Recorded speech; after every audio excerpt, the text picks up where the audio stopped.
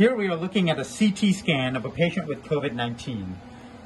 So you see the patient lying on his back, his feet are here, his head is back here, and you're taking cross sections of his body. So here you see the heart, and then you see the lungs. The lungs should be black with air, but you're seeing a lot of white pus here. That's from COVID pneumonia. So a few teaching points from this. So the first teaching point is this patient is 29 years old with no major medical problems. So this can happen to young people. And also, here in Texas, our hospitals are filling up.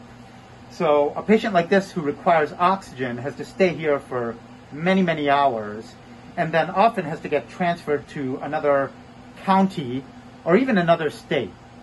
So what can you do to help us? By physically distancing, wearing a mask, and washing your hands, you can help prevent the spread, and that'll help prevent the hospitals from getting overcrowded so that we can take care of patients like this. And by doing that, you can prevent becoming a patient needing oxygen or prevent someone else from becoming a patient. So follow those rules, stay healthy.